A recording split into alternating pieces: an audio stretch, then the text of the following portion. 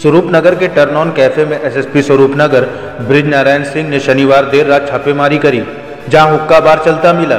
Police ने मौके पर चार लोगों को गिरफ़्तार कर लिया है।